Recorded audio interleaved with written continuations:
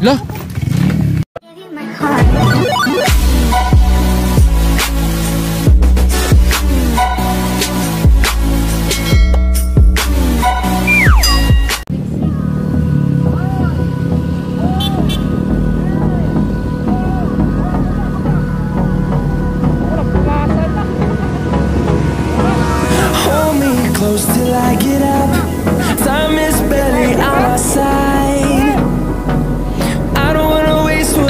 Na, bumaba natin ating mga pigs. Sige namang matutulin at shout out kay John Tableso, Wilson Iscano, shout out kay Renato Danseco at shout out rin kay Jael Crios, Rosendo, shout out rin kay Clit, YT Channel, shout out kay Jeremy Di Laguna. Ito, bakbaka ng mga Pixiger. At shout out din kay Gero Directa dito.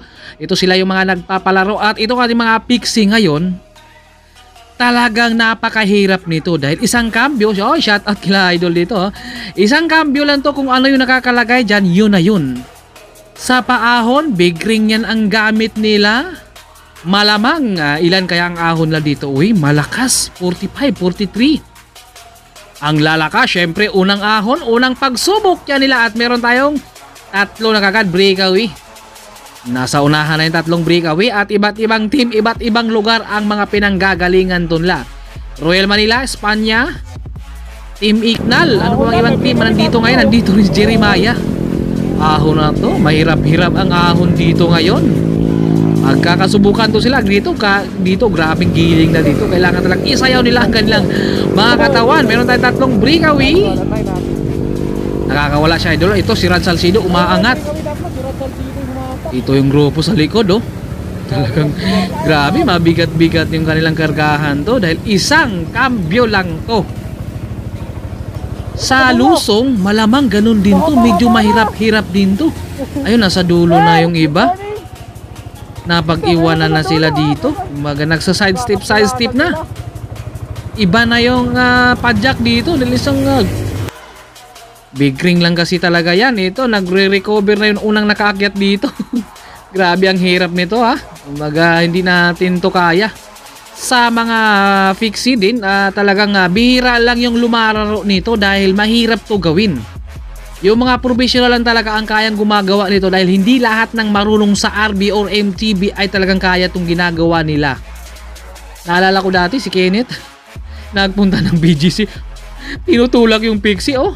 Yung kanilang ah, pagpapadyak dito ay nilulundag nila yung kanilang paa, hindi kagaya sa mga RB na talagang smooth dito, parang ah, Jeremiah nasa unahan. Parang lundag yung kanilang padyak dahil syempre ay nagkakahanda na rin yan sa pagpreno. Siguro sin ano kayang ah, mga diskarte nito pagdating uli sa ahon mamaya kita mo yung padjak ni Sir oh. Nilulundag parang yugyugan yung kanyang padjak eh dahil syempre pag nakanda na rin siya sa preno. Ayan oh, kumukurbada siya oh. Oops, naku tumunog yung gulong. Naplatan buti na control ni Sir dito. Naplatan op, ka-team ata to ni Idol dito. Pariya sila ng jersey. Iba't ibang team, iba't ibang pinanggagalingan to sila lahat. Andito si Go for Goal, si Luis Crag, si Nognog, andito. Nagkakapulasa na sila dito dahil pagdating sa ahon ay yung iba nilang kagrupo, yung mga classmate dito nila sa, sa mga pixie ay talagang hindi na nakaakyat din. Si Idol dito sumusugod, ginauburtikan pa yung big bike. Lalakas siguro talaga ang gagaling siguro. Ya, hindi to basta-basta ang gumagawa ng mga pixie. Lalong-lalo na pag nagmamaniho ka na niyan. Ayan si Idol, mga Team Ignal. Si LB Snip nandito. First time ko nakita to si LB Snip ito lumaro. Si Dibu Rivera, si Topper. Iba't ibang team nandito ngayon. At syempre, marami itong magkakampi siguro dito ngayon. Pantay dito si LB Snip at saka si ah, Dibo. Karimatihan ni Topper. Seryosohan na to ngayon. Meron tayong isang breakaway si Daniel, Royal Manila. Ayan, nag-aantay din to sila. Ito si Daniel nakawala. Grabing ahon dito oh. Ang lalakas, nakawala to. Isang uh, breakaway. Masasagad, agwat sila sa grupo. Ito naman yung grupo. Ito, gumagapang sila dito oh. Ang ating breakaway. Manila. Gumagapang sila dito. Pero pakunti na yan. Hindi katulad kanina na talagang sa neutral. Talagang nagkapulasan doon sa pag-akyat doon sa may kampo. Ayun yung ka-teammate ni yung ah, Salcido, Jeremiah, nandito, malalakas yan sila. Si Tango, nandito rin, proyekto bisikleta. Ito, lumalaban pa sila ha. Ayan, 27. 27 kph dito, 30. Kumbaga putol-putol, sumabog na ang kanilang grupo ngayon. At ito nandito ay ahon na naman to hanggang doon sa finish line. Ano kaya ito makakabawi sila? Puro ahon na to ngayon. Wala nang uh, palusok, oh, Jeremiah, oh. malakas yan. Dito, lumalaban din si Idol dito. oh. Meron tayong isang breakaway, nasa dulo lang ng konti, agwat lang, meters lang pagitan nila dito. Andyan na si Aral Salcido, unti-unti nang bumubungad.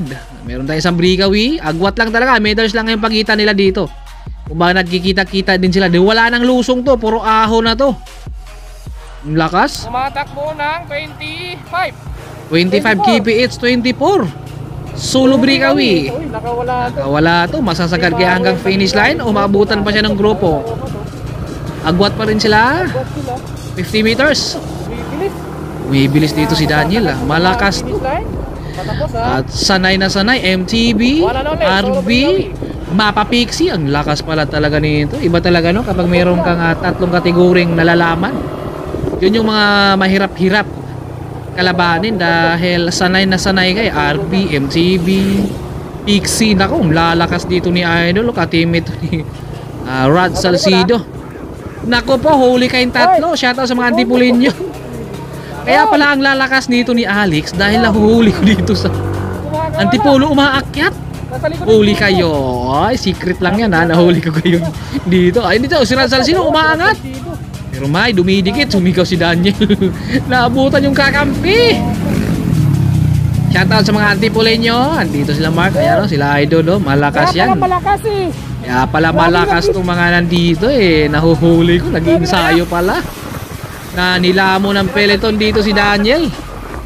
Nakawala sana siya kanina pero nilamon siya. Naabutan. Nagkakawatak-watak ng kanilang grupo.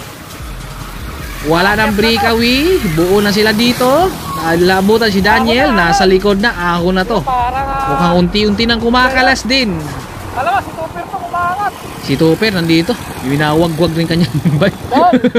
Nandito. Di ba? Wala ka Match yan sila dito sa unahan. Ito ni Dibo eh. Kasama dito sa first group. Ayan si Idol. Marami-rami ang Royal Manila ngayon, no? Si Tango nandito. Grabing ahon to.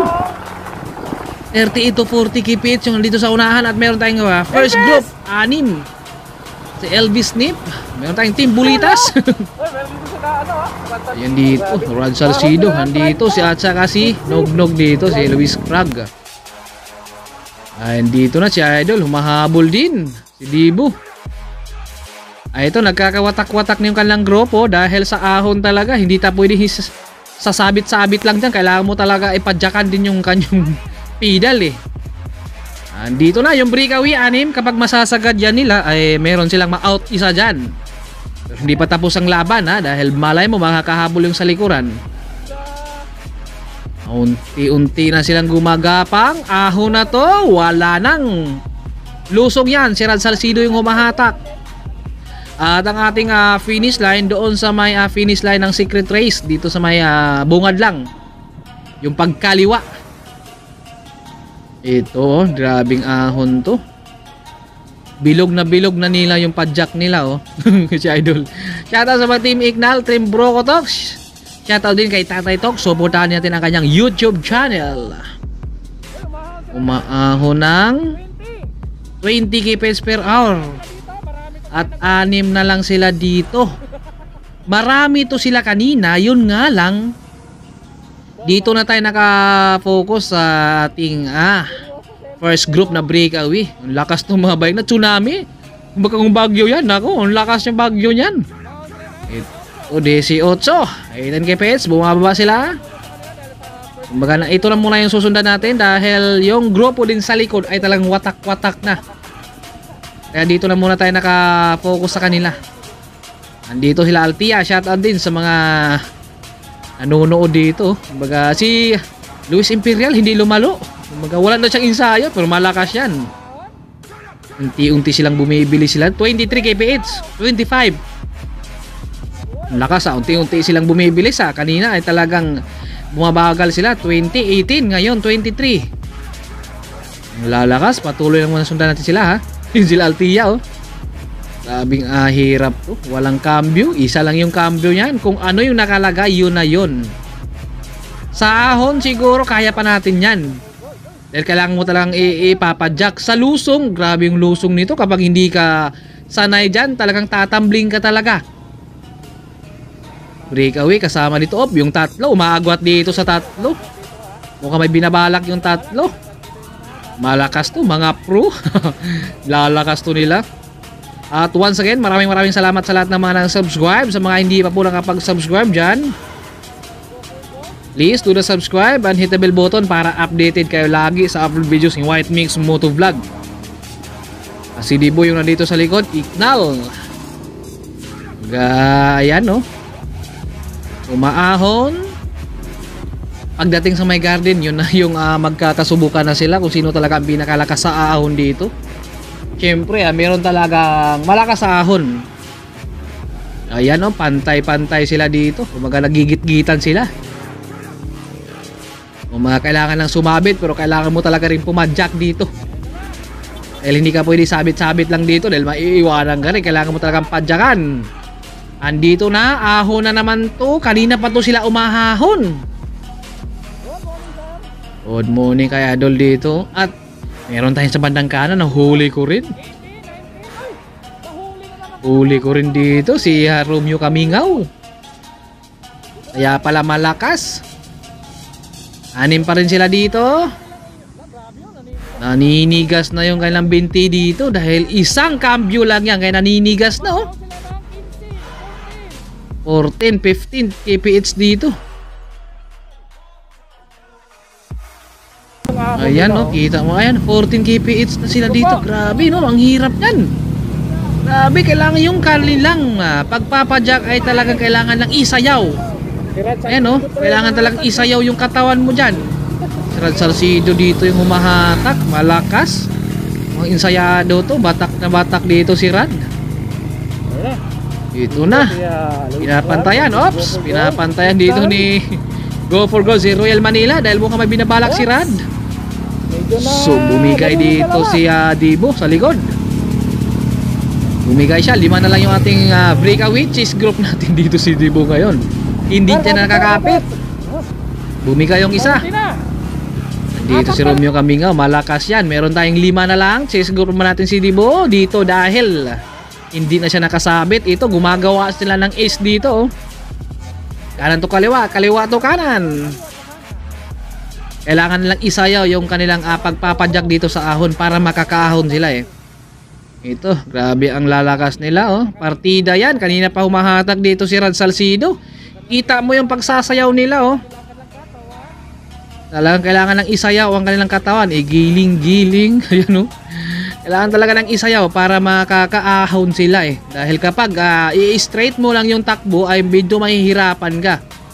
Kailangan mo talaga ay merong kang kukuha dito sa baba, kanan, kukuha ka sa kanan, kaliwa, kukuha ka din. Lakas atak dito ni ah, Brad Salcido. Ayan, bumuka muna siya. Nagantay kung ah, sino ang papalit at si Idol dito. Mukhang na hindi siya rin nakakapit na din. Hindi na rin siya nakakapit. Ito, ilan na lang? Apat na lang sila dito. Sino kaya ang makakatapos sa kanila? Anim sila, unti-unti nang kumakalas din. Marami to sila kanina nung nag-uumpisa. Pero talagang ito na lang yung natitira dito sa ating uh, breakaway sa ating grupo ngayon dahil nasa baba na. Dito na tayo nakapokus. Babae daw, ibibigay kay Elvis Snip, hindi daw tubig. Ayan, go for gold naman yung humahatak dito. Last naman Team Ignal. Parang hindi makakasabit na rin dito si Elvis Snip dahil umaagwat na siya sa likuran. 15, 16 kph yung kanilang ginagawa dito. Parang umaagwat na dito si Elvis Snip sa likod ah. Malapit na lang. 2 kilometers na lang yung ating ah, laban ngayon dahil magkakarimatihan na yan sila. Ako medyo hindi na nakakapit dito si Elvis Snip ng Team Ignal. Dahil kumakarga yung tatlo. Tatlo na lang sila sa anim. Kaya kaya lang tatlo na tiisin yung ah, hanggang finish line dahil kanina pa to sila umaahon. Umaagwat na si Elvis Snip dito sa likuran. Dahil taga ang lalakas. Nandito na! Maagwat si Rad. Mukhang may binabalak talaga si Rad na tumakas. si Idol dito. Umagwat na rin parang dalawa na lang. Andito na, nag-aaya na ng kasama dito si Rad. Sabi ni Rad, tala kuya. tala daw kuya, naku. Nag-aaya na naman ang kasama dito si Rad Salcido. Ito na yung ating chess group naman si Idol dito dahil dito yung ating breakaway. Ayan, ugwat lang sila pero baka kahabol kaya sa Idol dito dahil sulo niya at yung dalawa ay dalawa sila. Si Rad Salcido nag-aaya ng kakampi si Idol ito lumalaban. Palaban ang lahat ng mga bikers. Dito si ah, Romeo Kaminga, malakas yan sa ahon yan. Umaagwat na si Idol, itong dalawa ay unti-unti nang lumalayo at si Rad Salcedo na naman dito, nag-aaya na naman ang kasama. Noong nakaraan, inaya niya si Team ah, Vikings. From ah, Laguna ngayon, inaya niya si Go for Gold. Ayan, shout out kila Altia dyan. Nanonood, malakas yan si Altia. Yung kalaban nila Alex at saka Chelsea, Christina. Ito, dalawa na lang silang natitira dito at isang kilometro na lang yan bago ang ah, finish line nila. Maagwat na si Idol. Unti-unti na lang natitira at dalawa na lang. Dalawa na lang yung natitira dito. Dito na tayo nakafocus talaga dahil malapit na ang finish line. Pangatlo naman natin dito si ah, Team Excellent. so, kaya pala malalakas dahil nahuhuli ko nag-iinsayo, umaahon. 24 KPH, dalawa na lang sila dito. Ayan oh, kita mo naman yan oh. At walang trangkuhan yan oh. Antay sila dito, ayan na. 500 meters na lang yan, kaya kunti na lang. Ayan na. Grabe ang lalakas nila oh. Dalawa na lang talaga, 500 meters na lang yan, kaya kunting tiis na lang. Sino kaya ang manalalo dito ngayon sa kanila? Go for gold versus Royal Manila tayo ngayon. Wala na tayong nakikita sa likuran. Meron isa. Yung grupo ay talagang pumu sumabog na. Itong dalawa, oh, walang trangkuhan to, kaya pantay sila ditong dalawa. Pantay silang dalawa, yung isa ay talagang humahabol pa. Talagang si Rad Salcido, mukhang may pangdiin to. Umaagwat siya. At yung isa ay talagang tinatsaga niya, yun nga lang sulo siya. Uy! Kunti na lang yan ha. 300 meters na lang yan. Kaya ito, pagkakataon na itong diyan dalawa, wala silang trangkuhan dito. Kaya pantay sila dito. 200 meters. Ayan na, nagbabantay na dito. Si Rad Salcido nagre-recover. May isa, may angat. Wala pa. Isa, dalawa, tatlo. May angat. Wala pa. Nag-aantay. Sinong angat nandito na? Parang gusto na umangat si Rad Salcido. Ayan na, kumakawala. Ayan na, umaangat na si Rad Salcido. Umangat, go for goal. Oh. Kumakawala doon si Rad Salcido. Ayan na, si go for goal yung nag-aabol dito. Kaya pang umabol. Parang bumigay dito si go for goal. Ayun na si Rad Salcido. Nakawala na talaga siya. Nando na, pinipiga na. Kumbaga, diniinan no? ni Rad Salcido. Ayun na yun ating first. Yun na yung ating first, Rod Salcido, Royal Manila, pangalawa dito, Go for Gold. Nalingat. Si Go for Gold, nalingat. Isahan. Ito yung ating pangatlo. Grabe, ang hirap nung ginagawa nila. Sino kaya ating pang-apat? Pang-lima. Dahil meron tayong pangatlo. Sino kaya? Ang lulusot. Sino kayang lulusot? Ito na, lumusot! Big bike! Nandito, dalawa big bike, lumusot. Ito na, si Elvis Steve! Lah, tumambling doon si ah, Dibo. Naku po. Si Rad, si Rad eh! Nalingat yung kalaban niya! Oy! Ito pa, ito pa, rumimati pa! Ay!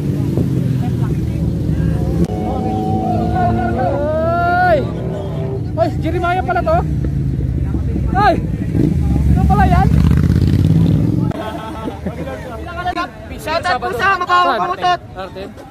Di, bukas Karisa, tsaka doon sa Let's go, Karisa! Hoy, Kay! Biker! Isa bukas! East-West ah. East-West bukas. bukas din, alaw na yan, di ba? Oo. Bonjour ka sa akin. No, Ruby! Isa-isa. Border ka sa akin. Shoutout sa mabaho kong utot. Happy friend! Shoutout kay Jeremiah, umangat. Eh. Border. Grabe na si Jeremiah. Sa tukuhan lang daw po siya angat. Ay! Uy! Ayan sila oh. Wala, wala. Bagong gupit lang tayo. Bagong gupit ba? Bagong gupit. Meron. Meron. Yun, dalawa. Hey! Hey! Yo, awarding na tayo ng podium. Pwede na tayo ng four tubes. Pwede na tayo ng four. Fifth, Elvis Nip. North, Debo. North, David Margotti. Second, Nognot Road. First, Rod Salcedo. Nakawag sa paglaro, men. Nakawag sa paglaro. Aha, panalo. Uy. Dito kaya sila.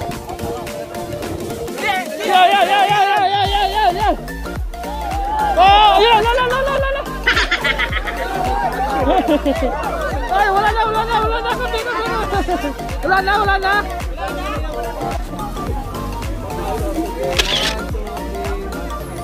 Alright, thank you sa nagpapalaro.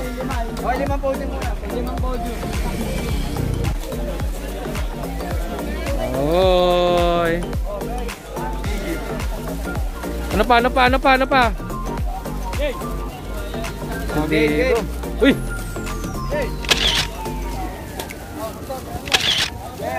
Game, one, two, three. Last one.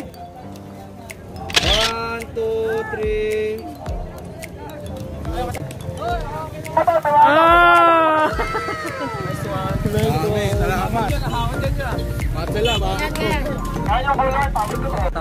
Pinulikat ako. Sa Makati. Yung group lang yan. Gano'n splendid dito. Wala, kalasan eh. Kalasan ba? Tanya mah.